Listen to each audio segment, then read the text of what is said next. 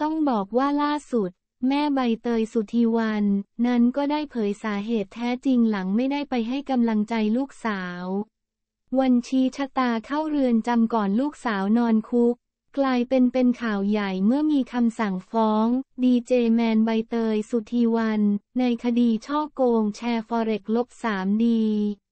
ก่อนคุมตัวส่งเรือนจำและในเวลาต่อมา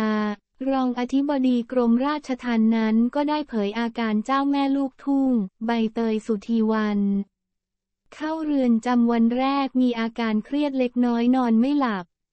และยังไม่รับประทานอาหาร ในขณะที่ดีเจแมนรับประทานอาหารได้นอนหลับพักผ่อนได้ไม่มีสภาวะความเครียด และปฏิบัติตามระเบียบของเรือนจำตามปกติ และล่าสุด แม่ใบเตยสุธีวัน นั้นก็ได้เผยสาเหตุแท้จริงหลังไม่ได้ไปให้กำลังใจลูกสาว วันชี้ชะตาเข้าเรือนจำก่อนลูกสาวนอนคุก โดยแม่ใบเตยสุธีวัน